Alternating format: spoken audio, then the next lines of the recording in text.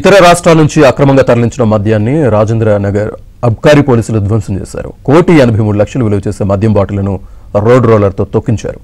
ఈవెంట్లకు ఢిల్లీ గోవా బెంగాల్ మధ్యప్రదేశ్ హర్యానా రాష్ట్రాల నుంచి తీసుకొచ్చిన మద్యాన్ని అధికారులు ధ్వంసం చేశారు. సుంకం చెల్లించకుండా పక్క రాష్ట్రాల నుంచి మద్యాన్ని డంప్ చేస్తే కఠిన చర్యలు తీసుకుంటామని రంగారెడ్డి జిల్లా ఎక్సైజ్ డిప్యూటీ కమిషనర్ దశరథ హెచ్చరించారు.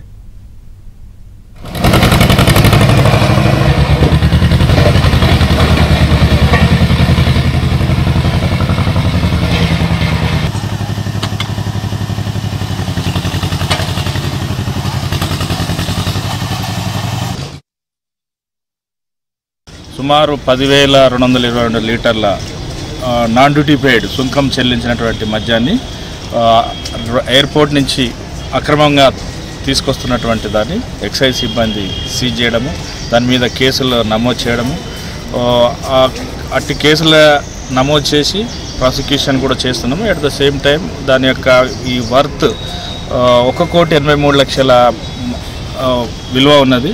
సుంకం చెల్లించకుంటే మన ఇతర రాష్ట్రాల నుంచి అంటే గోవా ముఖ్యంగా గోవా హర్యానా ఢిల్లీ నుంచి పబ్లిక్ కొంతమంది ఆర్గనైజ్డ్ కూడా తీసుకురావడం జరుగుతుంది. దాంతో ఒకటి మనకు తెలంగాణ స్టేట్కి రావాల్సిన రెవెన్యూ లాస్ అవుతుంది.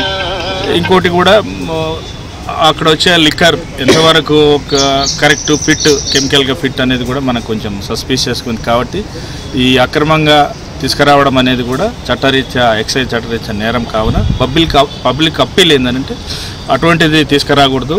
మన తెలంగాణ ఎక్చకర్కి లాస్ చేయకూడదు. ఎట్ ద సేమ్ టైం అటువంటిది తీసుకొచ్చి కూడా ఆరోగ్యాలు కూడా కాపాడుకోవాల్సిందిగా కూడా కోరుతున్నాం.